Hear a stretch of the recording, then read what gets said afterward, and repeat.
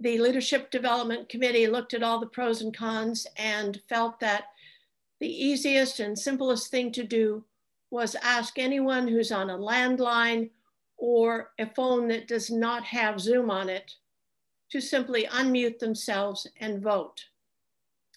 And if you remember, if we were all together in the sanctuary, there'd be no privacy. We would know whether anyone was voting pro or con. So there's nothing secret about this kind of a ballot. And we want to test the same way we did last year. So in about one minute, Jane's going to put up a slide and we will ask you to vote. So we know that you are hearing us and that you know how to vote because you don't just check yes or no, yay or nay, you are also having to submit your vote. Jane, would you kindly put the poll up?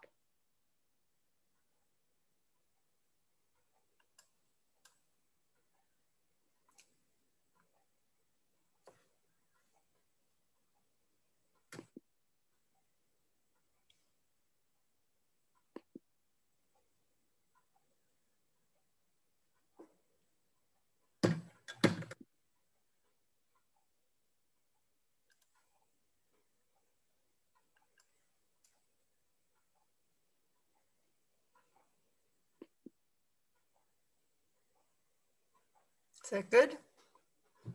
Looks like a few people are having trouble with their sound, but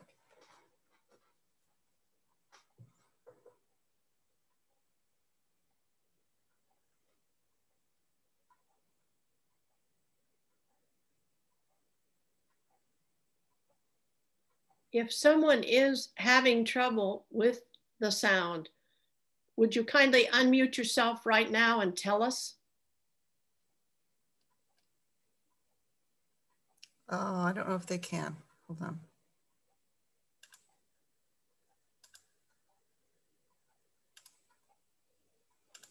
Okay.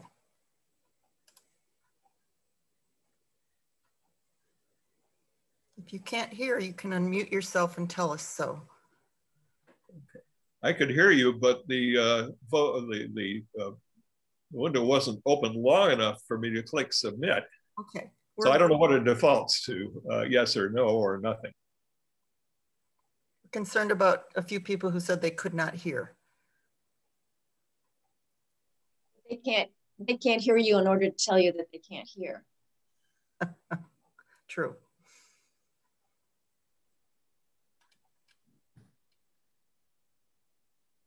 I can hear now. I was just connected the wrong way before. Excellent. I do see a hand raise, um, Donna and um, Jane. No, I do not. Jeff Kingsit, Kingsit has his hand raised. I just wanted to make you aware that I had the same problem Walter had. Uh, I thought I clicked rather quickly, but when I clicked, uh, I received a message that said the poll was already closed. So we could leave that open a little bit longer that would be appreciated. Thanks, Jeff. Thank you, Jeff. Jane, when we put it up next time, let's leave it up a little longer to make certain that everyone has an opportunity to read through it, then click, and then go to the submit button. Okay. Thank you.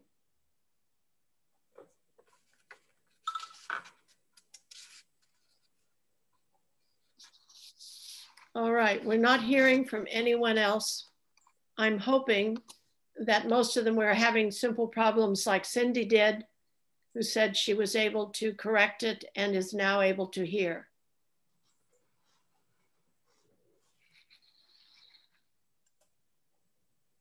So I'm going to proceed now and read the BUC covenant.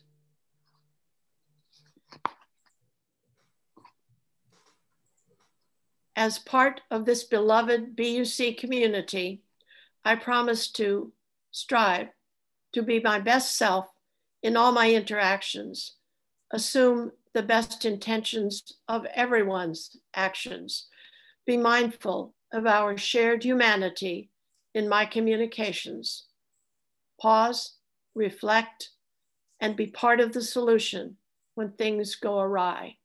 Thus do we covenant with one another.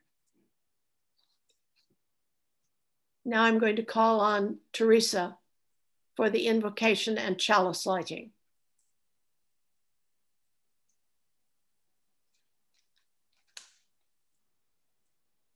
In the name of all who are gathered here as part of this beloved community, let us be grateful for the many things that we have done during this pandemic year to reach out and support one another. May we be present with open and joyful hearts for the work that we do today, so essential to the life of this church. And may we share hope for the coming year. Amen and blessed be.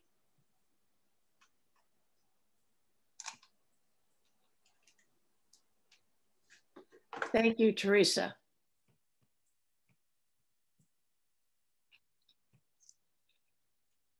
And I believe we have a quorum. And you can confirm that, Craig?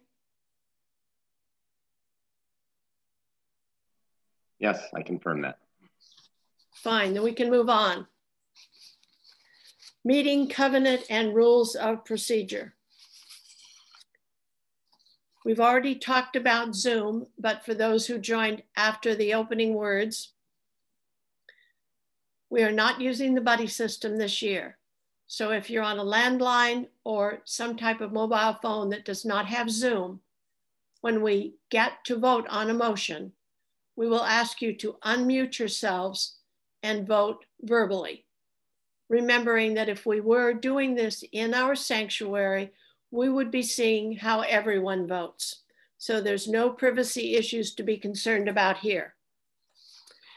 Jane will put up the Zoom poll and based on our test, she's going to leave it up a little longer so that you have the opportunity to read.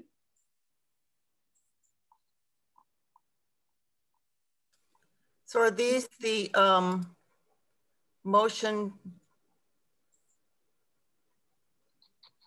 Which motion are we using?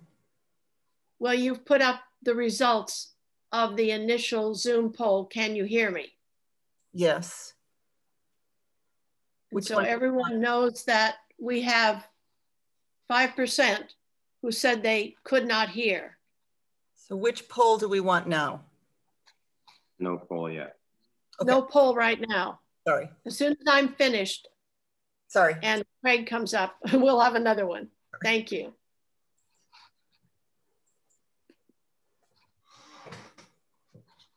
Okay. Um, Jane will take a picture of each of the Zoom polls. That again is something we learned last year from a legal perspective that we need to do. It may sound odd, but this is Michigan, so we have a few oddities here. We try to abide by our Constitution and Robert's Rules of Order. Keith Ensroth will function as parliamentarian today. And here's that little book. And I want to mention something that I shared with other folks in the practice session. Our denomination and our district are looking carefully at Robert's rules because it's been called to everyone's attention that there are some underpinnings of white supremacy that are inherent in Robert's rules. I don't fully understand all of it myself at this point. We're not suggesting that we will ditch them. Rather, we will study them. We will begin to understand what people are telling us for the future. That's basically what we will be doing today. The only other change in the agenda that you will see is when we get to the reports, we will cover all reports in total before I open the floor for questions. We're trying to be a little more efficient this year and not have a meeting that runs over three hours. It was a challenge last year. I think Bruce and crew did a great job. Nonetheless, it's up to us to try and do a little better this year. And that's what we're trying for. First item on the agenda then is the motion to proceed. So I will call on Craig for that. Thank you, Donna. So a communication was sent uh, to all the congregants on May 3rd, informing them of an error on the board's part in preparation for this meeting. The error had to do with timing for sending nominations from the congregation. Uh, not, I'm sorry, timing for sending nomination notification of the candidates who are running for election, and also allowing adequate time for additional nominations from the congregation beyond those identified by the LDC. Notification should have been sent 21 days prior to this meeting date, but was actually sent four days later than that. The communication on May 3rd also mentioned that the board will be reviewing our constitution during the next year, particularly the two sections that caused the confusion that led to this error. And we will propose appropriate constitutional amendments to address any areas of concern. The board regrets this oversight, but we believe it's in the best interest of BUC to stick with the original meeting date, so we did not change the date of this meeting. In light of this, I wish to propose the following motion, which was also mentioned in the May 3rd communication. Donna, would you like me to read the motion? Yes. Jane, would you post it for everyone to see, please?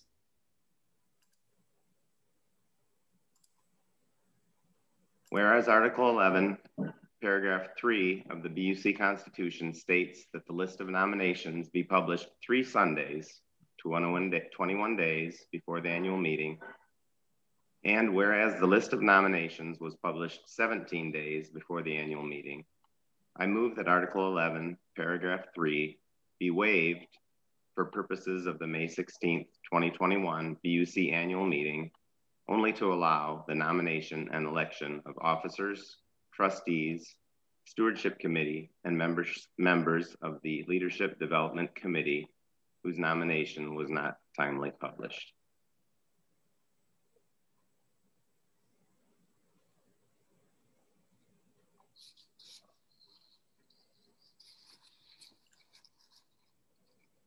Are there any questions or concerns? Madam President, Yes, I would like to second the motion. thank you, Jeff.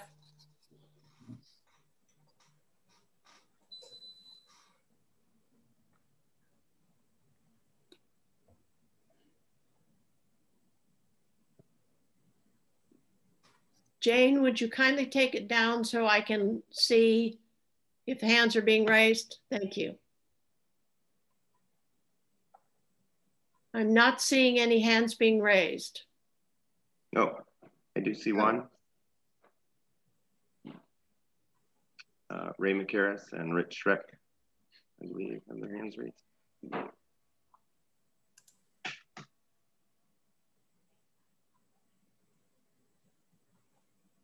They can unmute themselves. Rich, if you could unmute. Yes. Oh, yes. Okay, I think we're going to put a poll up for this so that everyone can vote. Is that right, Donna? Yes. And since no other hands seem to be going up, thank you, Jane.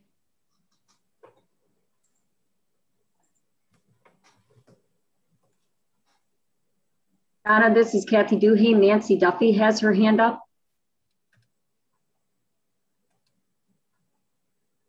Kathy? Yes. Um, Yes, Nancy has her hand up? Yeah, Nancy Duffy. Nancy, you can unmute yourself.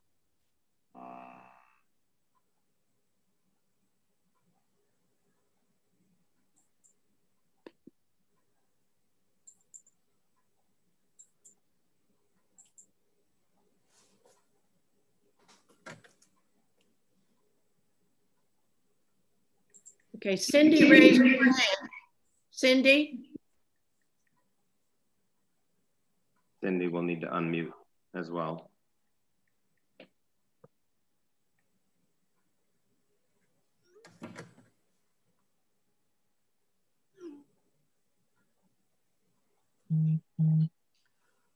Um, okay. I'm relaunching the poll. I got a message that it was uh, closed. I did not close it.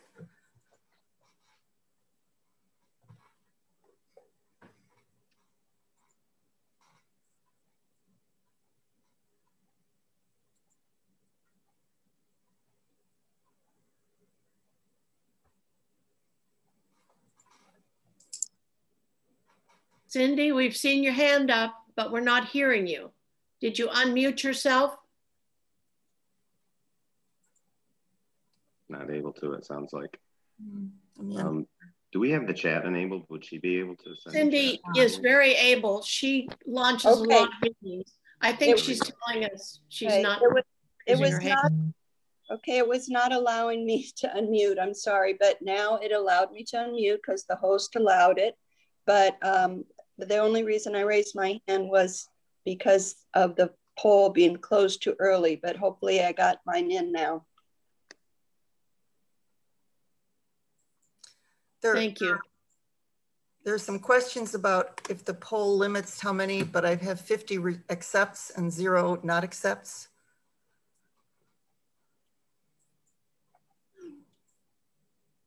And we have 74 in the session. 51 have accepted.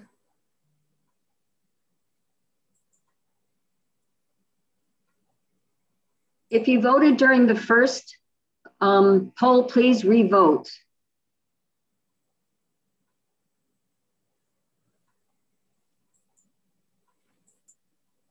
Fifty-three. And remember that those of us who are co-hosts are not able to vote.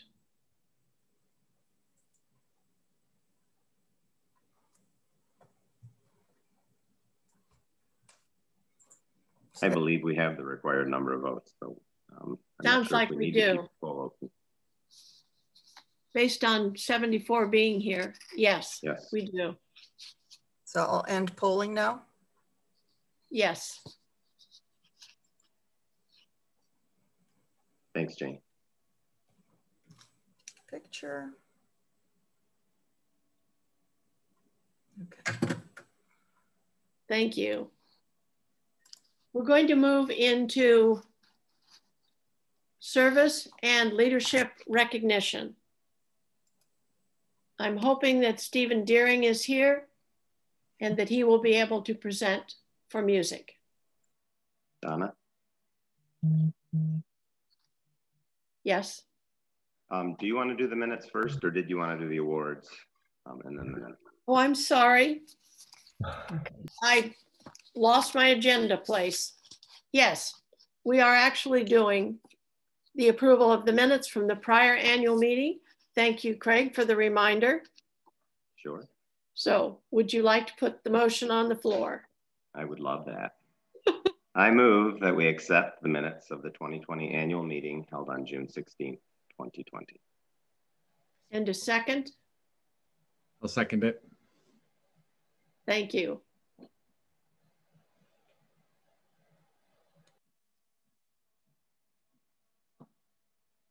The poll's up and everyone but the co-host is able to vote.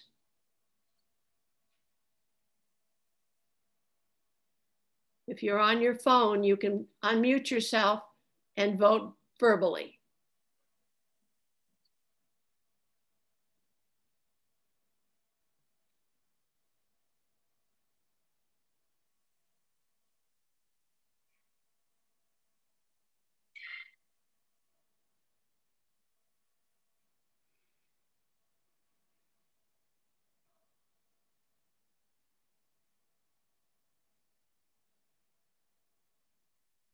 Donna, I don't know if you can read those tiny faint. I can't. We have 57 have accepted, zero have not. All I right, think we can move. then we've passed. I gotta take another picture now.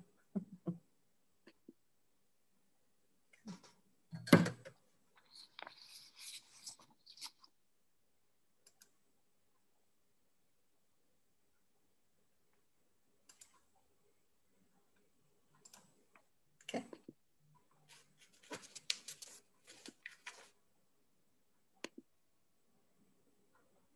All right.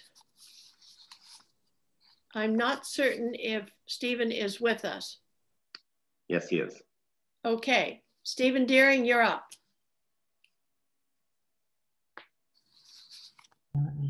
All right. So thank this, you, thank you, Donna, and thank you. Um, I guess I'll Jane. All right. So this year's service and leadership recognition for music goes to the one and only Keith Ensroth. He's chaired the music committee for the past two years, demonstrating excellence in leadership with love and support to our ministry.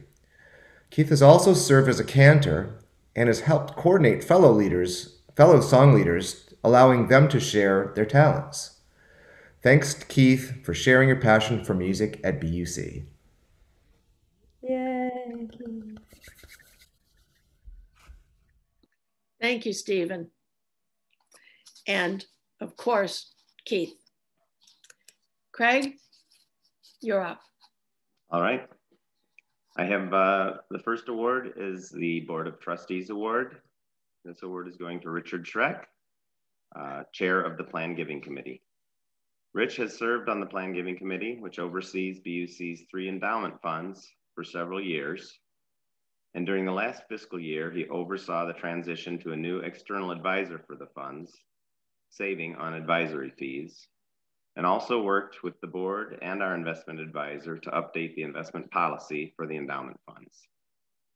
Thank you, Rich, for all your years of service leading to this, leading this important committee. Yeah. All right, that was in uh, that award was in my role as uh, on the board of trustees. And now I will present two awards um, on behalf of Reverend Mandy. The first is the Executives Award. To Diane Slon, our treasurer. Diane worked diligently to create an endowment policy to clarify how BUC's three endowments should be used. This process involved researching the history of the endowments, and working with other lay leaders who currently oversee the usage of those funds. Diane's good work will serve our congregation for years to come. Thank you, Diane.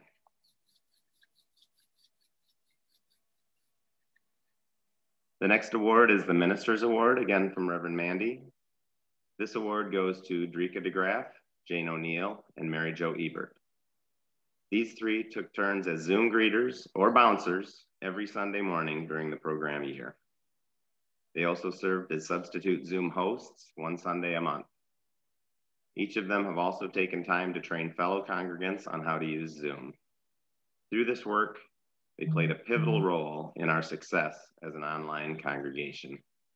Thank you very much, Drika, Jane, and Mary Jo. Mm-hmm. Thank you, Craig.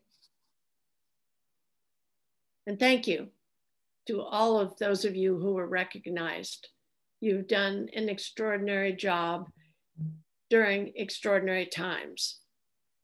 We appreciate and value every one of you immensely. Now I'd like to ask Richard Schreck to give a brief report from the planned giving. Okay, being very brief this time, let me just say that um, we have switched advisors. It seems to work very well. In the first quarter of this year, we've already regained the money we paid out in last year's uh, uh, percentage payouts from the funds. And uh, it seems that they're doing quite well going into the next year. I won't go into detail at this time. I will say also that the Community Foundation endowment is also growing and we expect it to continue to grow over the next three years due to a recent large donation by one of our members. Thank you. Thank you, Rich. Nice to hear that positive bit of news. The Leadership Development Committee report, Kathy Duhame. Hi, this is Kathy. Um, I am this year's chair of the Leadership Development Committee. Uh, the LDC's main challenge this fiscal year was, as has been for everybody, was meeting via Zoom. But even without face-to-face interaction, the committee worked extremely well together. The LDC spent the first half of the fiscal year creating a new procedures document utilizing information from previous LDCs the BUC board, and the UUA, as well as the invaluable input from Reverend Mandy. Our hope is that this living document can be used to provide continuity for years to come. The BUC board also provided job descriptions, which were very, very helpful. Uh, the LDC is charged, as many of you know, with identifying recruiting nominees for the board, stewardship committee, and the LDC itself. Yearly rotation this year required nominees for board officers, one incoming board trustee, and two incoming stewardship committee members, along with nine LDC nominees, five of whom will be elected. We found very capable candidates for all of these positions who we feel, feel will provide BUC with strong leadership and dedicated service. Thank you to all the candidates for their willingness to serve our church. I would also like to express my deep gratitude to all of this year's members of the LDC. It was a great group and it has been a privilege to work with all of you. Finishing their terms are Judy Amir, Camille Harris, Izzy Capoya, and Barbara Wolf, as well as Natalie Price, who is completing the term of a member who exited the committee after their first year. Continuing on the committee next year are Tony Kubian, Peter Schreck, Chris Slon, and Jane O'Neill, who was voted by the LDC committee to be the chair in the next fiscal year. Thanks again to everyone. Thank you, Kathy. Great job. and now, Treasurer's Report, Diane Slon. Okay, and I am going to share my screen. I actually have a little bit of a presentation and I'll try to be as quick as possible. So am I sharing? Uh, there we go.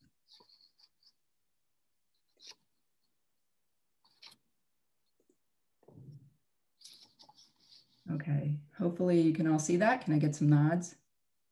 Great, okay. All right, well, um, first of all, um, thank you all. And um, this afternoon, I'm gonna talk a little bit about BUC's finances. I'm gonna, as we said, try to go through these as quickly as possible, but um, wanted to show you first this pie chart. This first slide shows you the annual um, income. These are the major revenue sources for our budget for this current fiscal year that we're in now. And as you remember, our fiscal year starts in July. So we're now talking about fiscal year 2021 and we're about nine months into it. So these are our major revenue categories. Um, our budgeted revenue for this year was 679,000.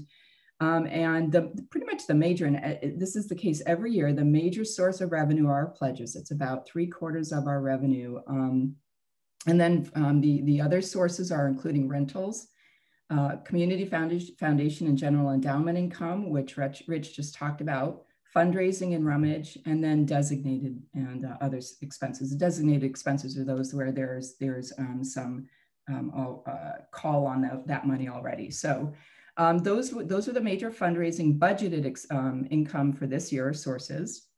And then the budgeted expenses for this year um, were uh, this, the seven major categories are the office and facilities staff that comes in as, at about a third, minister expenses, which includes the housing and salary and benefits, RE staff, office and facilities expenses, which is just about everything that you really, um, all the expenses that go into running uh, the, the organization in the building, music staff at about 11%, interest in mortgage at about 47,000 um, and 7% of our, our expenses, and then all other. So again, this is what was um, budgeted for this current year. And we, uh, what was approved last year by the board was a deficit budget of about $9,000. So that's how we started the year with looking at a deficit budget. What I want to do now is talk to you a little bit about the impact of COVID on our budget. And this is, this is important because it's really modified a lot of how we're um, looking at things. So going into fiscal year 2021, we knew that the pandemic would really continue to have uh, a considerable impact on our budget, especially on our revenue. And there were several revenue items that we anticipated would decrease significantly because of the lack of in-person activities. And so in particular, you can see the chart at the top of this slide shows the three major revenue sources that, um, that changed in, in the budget from last fiscal year. So what I've tried to do is show you um, how the, this was, but they were budgeted for previous fiscal year, that would be 19 and 20, and then this fiscal year. So rentals, for example, um, previous year was budgeted coming in at around 114,000, and it did. Um, but we knew because of the lack of in, you know, because of the pandemic that we needed to budget very conservatively. So we budgeted that down by about 55%.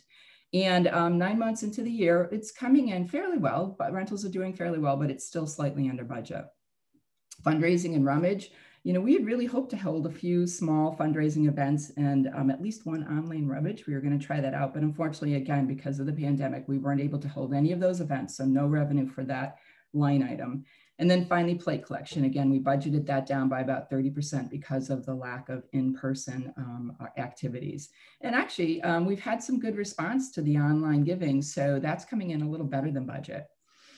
So again, when fiscal year 2021 was bud the budget was approved, it was hoped that the pandemic actually would be under control by early 2021 and normal church operations could resume. However, as we all know, that's not the case, and the continued shutdown has really impacted our revenue sources more than anticipated.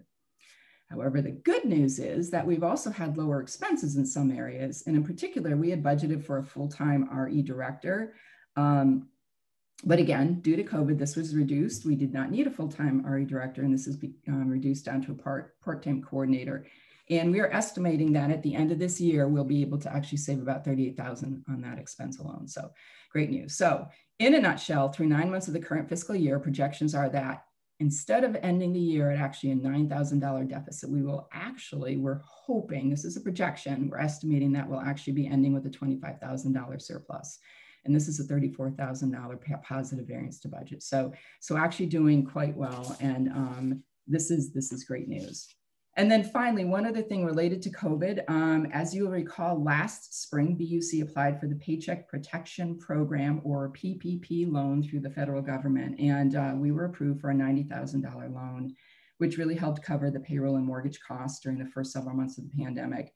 Um, and about a month ago, a month or so ago, we, we received word through our bank that that has been forgiven in its entirety. So we will not need to pay that loan back. So that's, that's great news too. Um, I wanted to say a few very quick things about the capital campaign.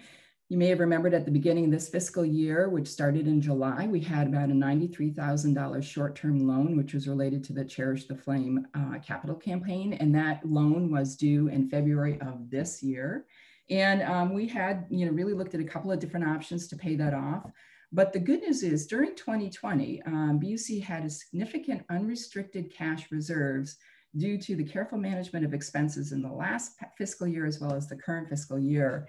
And um, that actually was enough to actually pay off the loan. So in October, the board um, approved using the excess cash reserves um, to pay off that loan. So not only do we now not have that loan, but we actually save about 350 on interest um, every month. So that's, that's great news as well. Okay, and then I'm gonna talk just lastly about the forecast for the 20, um, 2021 budget. So our revenues, again, this is not finalized uh, and it's not uh, approved yet, but what, what it's looking like is our, our revenues will be about 690,000, which is a little uh, slightly up from last year, or this year rather. Our expenses will come in around 730,000, 730,000, which is about a 6% increase.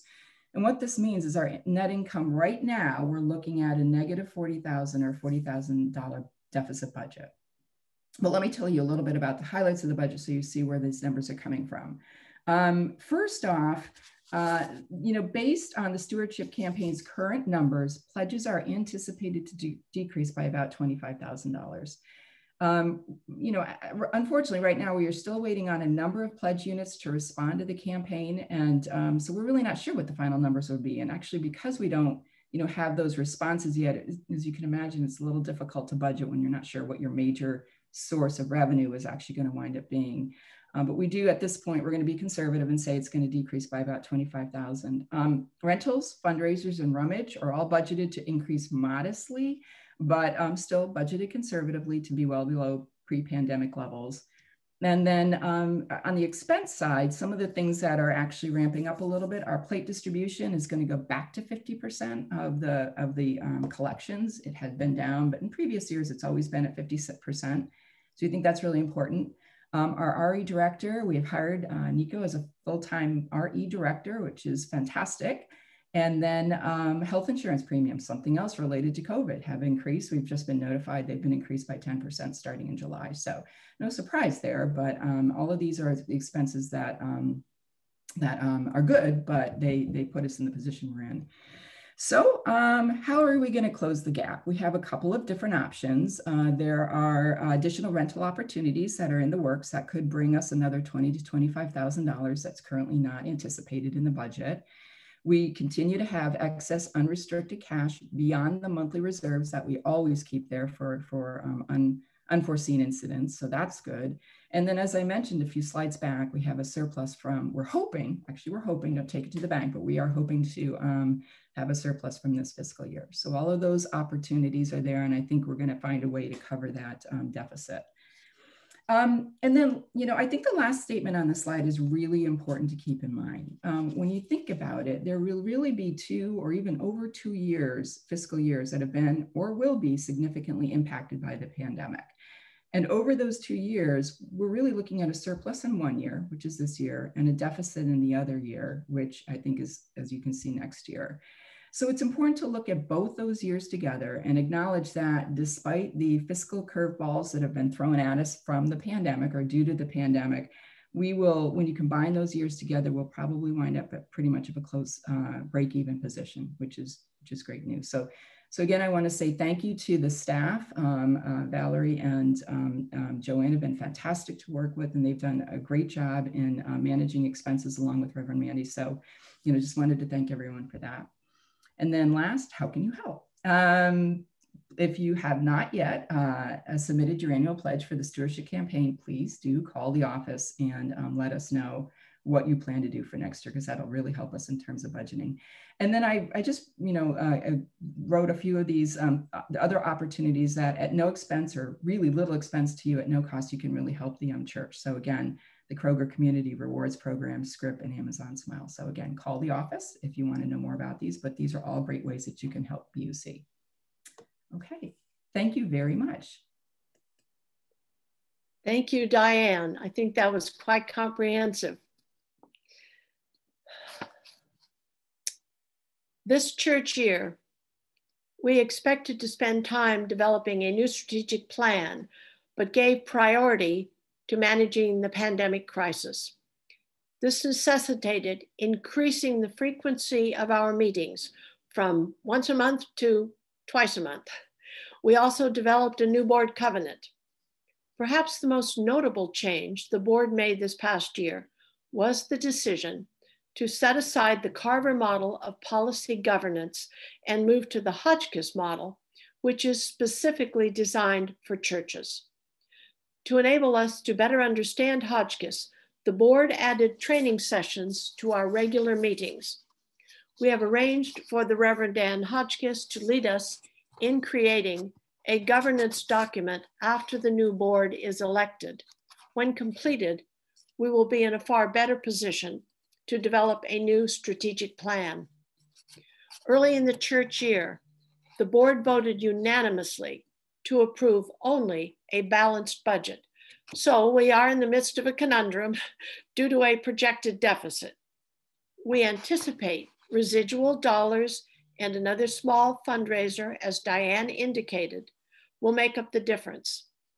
The budget is not what we wanted or expected. The board wants the congregation to know that while we will likely be fine this year, the following year is highly problematic because we anticipate no residual dollars. At my weekly leaders Zoom, I hear the same thing from most presidents, that is a shortfall in pledges. We had a truly upbeat and creative stewardship canvass this year. We should thank all of those involved because they did a wonderful job. Our district, yes, thank you. Our district has said if there was ever a time to borrow from your endowment, now is the time. We will not have to do that this year, but next year is a very different matter. I inquired about reluctant contributors to the annual pledge at my weekly leaders Zoom and learned that while there are obviously always some stragglers, we have more than most one month, one full month after the end of the pledge canvass, one fifth 20% of our congregation had failed to even reply. That is more than most churches have. We need to understand why. The board continues to appreciate and support work being done on the racial and environmental justice fronts. We are proud of the work done by the Worship Committee, Worship Associates, and our co-directors of music ministry to bring consistently good online services. We value the work they are doing also to ensure that we can offer both in-person and online services at some point in the future. So about that point in the future, our reopening task force is exploring all options and investigating the possibility, emphasis on possible, reopening before January 22. Currently, our denomination and our district are recommending January 2022. The key to reopening is ensuring we exclude no one. The task force has invited Nico van Ostrand to join us at our next meeting. Jim Shettle and crew are working on all elements of our HVAC systems and have installed improvements in a couple of classrooms. There seem to be hundreds of things to learn and consider before reopening. That may sound like hyperbole, but it is close to reality. The board reviewed and supported the work of the BUC Carbon Footprint Project. We discussed and strongly supported parental leave for Reverend Mandy, and some board members attended the National New Day Rising Conference, which helped to further educate ourselves on racial justice and Indigenous peoples justice. And if you were there, you know there were hundreds of people all across the country that attended that conference. We continue to work closely with the Leadership Development Committee, LDC, and provided them, as Kathy mentioned, with job descriptions for all board members, which is more comprehensive than described in our constitution. The board wants to thank our amazing staff for all they do. We rely on them every single day. We have seen positive changes in our religious education program. We want to thank Reverend Mandy in particular for her excellent leadership and help in growing our faith. We want to thank all the committee chairs for their time, talent, and leadership. Last but not least, I want to personally thank all members of the board for their dedication and willingness to work far more than they expected. Last year, Bruce Weber closed his report by saying, quote, we now have the opportunity to reevaluate our lives and the world we live in. The old normal was broken. I encourage you to step up and create a better world, end quote. I love those words. Yes, the old norm was broken, is broken. We do need to step up and create the world we want. Yes, we can together, all of us. Thank you. Now, before we get to the election results, I'm going to open up the floor for any questions, concerns, issues any of you may have.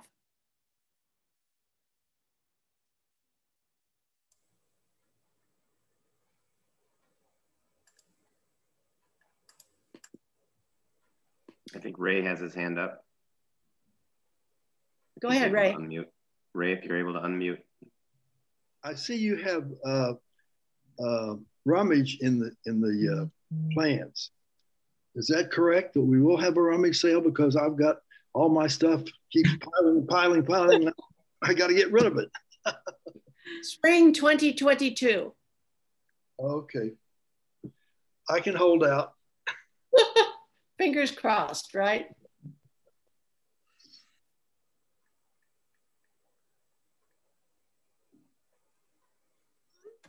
Craig, do you see any other hands up?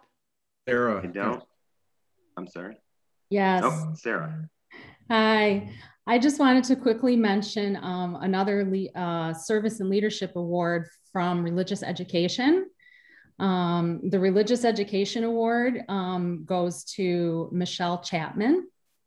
Uh, Michelle Chapman is the Building Bridges Advisor, and she rose to the challenge of leading the sixth and seventh grade curriculum, Building Bridges, in an entirely virtual format.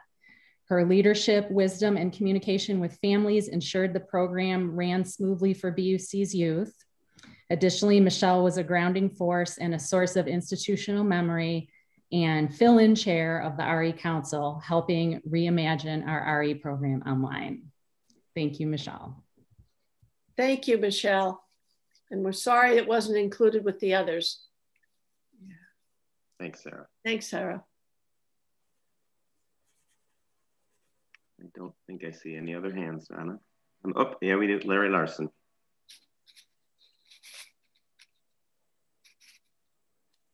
Yeah, I'm wondering if uh, the congregation supports uh, a process of learning about the proposed eighth principle. Uh, there's quite a few congregations that have accepted this formally. And uh,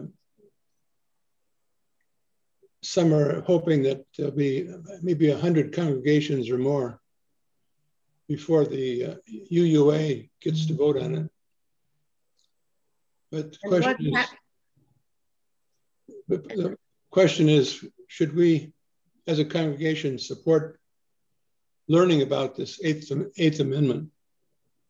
I believe we are supporting it right now. If anyone read the current newsletter, they saw all of the statements by our entire staff, and my piece was also addressed on that.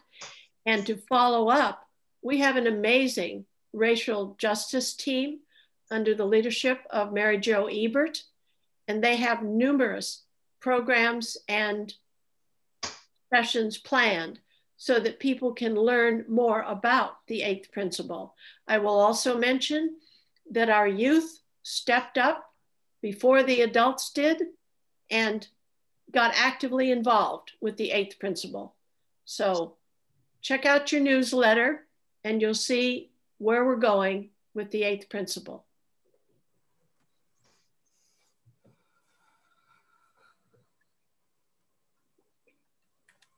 Anyone else? Cindy? Oh, I just wanted to um, uh, mention that um, I just drove by a church that's just a few blocks from my house, and they're starting their services inside this Sunday or today at 10 a.m. And I encourage the uh, the committee that is looking at the reopening to uh, think of ways to, even if you don't, if you want to wait until January, think of ways to incrementally uh, find way more ways for the BUC to meet in the building as a congregation because I'm I'm sure I'm afraid that the reason uh, pledges are down, the you know, uh, has something to do with that. I mean, our services are nice, but they're not the same as being together as a community. I think Donna once called it the golden thread that holds us together. There's something to be said to all of us singing a hymn together uh, versus just hearing one person sing it over a tinny Zoom uh, speaker on my little smartphone. but anyway, I that's my uh, wish that they, uh, well, my concern, it's, it's, it's more concern for BUC to lose membership because of waiting so long to reopen the building. And I'm sorry that wasn't a question, it was just my, my input. Thank you for listening. And thank you, Cindy, for sharing your thoughts. We don't have a committee. We have a reopening task force. And I believe they are looking across the spectrum at just about anything and everything. I can share one thing with you. Uh, at my weekly Leaders Zoom, it's normally chaired by the Reverend Dr. Lisa Presley. But when she was gone, Reverend David was in her place. And he happens to be an Army chaplain, and he meets with all the chaplains. And he said that in the military, a lot of them have already opened up their services. But he said, as you might imagine, when they're given rules in the military, they tend to abide by them reasonably well. But he did observe that even in the military, when he went to a couple of services, that people were not abiding by the social distancing, the masking, or anything else. So there's a lot to look at, there's a lot to consider. And Cindy's right when she said, because we know pledges fell off as a result of the fact that we're not in our building. That's one element we have to deal with. So, trying to look at everything and ensure we don't exclude anyone, because there are one or two congregations who have proposed going back to adults only services.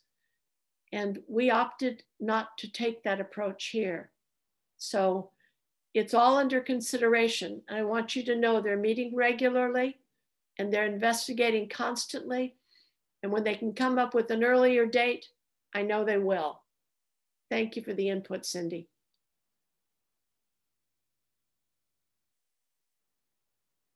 Craig, I don't see any other hands. Do you? Nope, I don't see any other hands raised at this point. Okay, issues arising for the good of the congregation. That's basically announcements.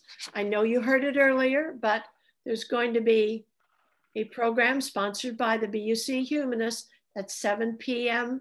tonight. And if you're concerned about voting, voting, go to the calendar, click on the link, and join that. Any other announcements? I think Kathy will do the results next, right, Donna?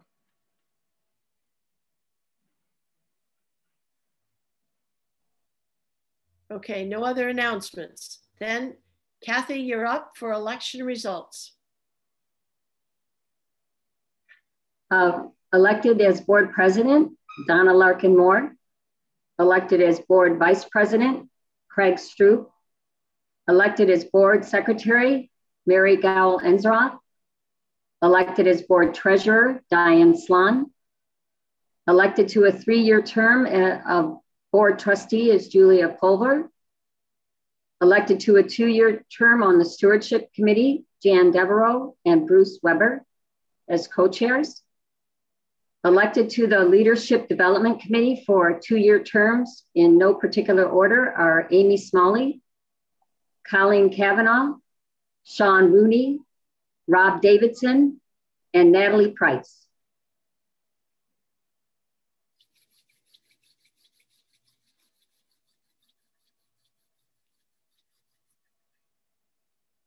Wow, thank you.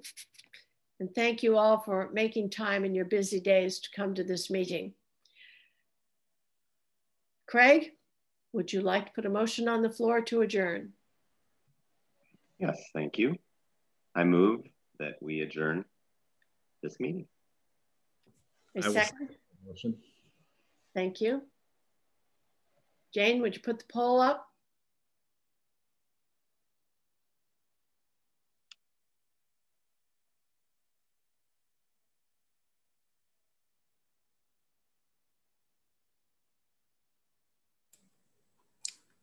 We're at 52, 53. 53.